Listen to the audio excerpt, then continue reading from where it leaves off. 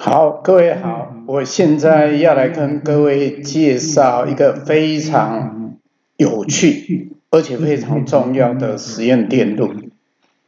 那这个实验电路呢，各位可以看到画面上。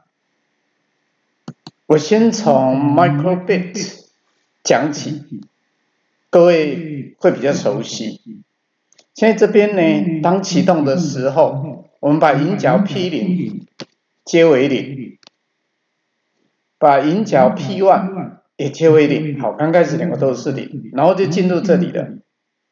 进入这里，因为我们做过三个灯的实验，各位都知道，这个就是 P one 先设为零，P 零设为一，哎，所以这个是一，这个是零，它是这个亮，红色代表一。好，过了一秒钟以后，它就交换了，它就交换，好，变成 P one 是 P 零是零，P one 是一。过了一秒钟，它又回到上面来了，所以这两个会交替闪烁。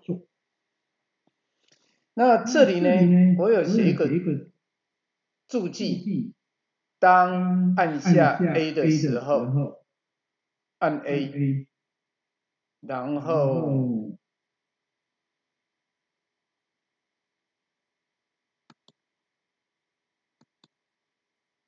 当按 A 的时候，VAL 的值。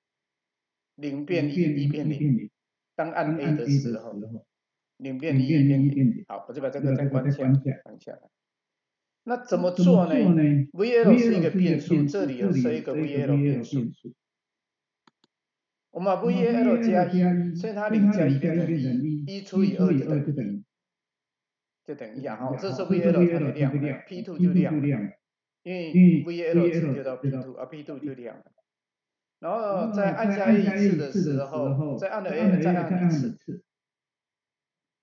一再加一就是二了，二次又变成零了，所以它会在零跟零之间交换。好，各位看这一线是没有亮，没有亮，我就按 A，它亮，再按一次，它按。所以如果我们把这个信号抓出来，它会亮跟暗，亮跟暗。那我要把这只讲拿去接继电器。好，现在各位应该都看得懂我们这个电路。我再讲一次，刚开始设定所有的变数值都把它设为零。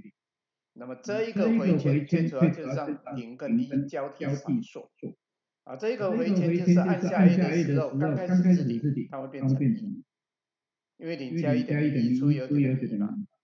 然后一的时候一再加一变成二，二再除以二变成零，所以它按 A 每一次按 A，这个东西现在是一，各位可以看到这里。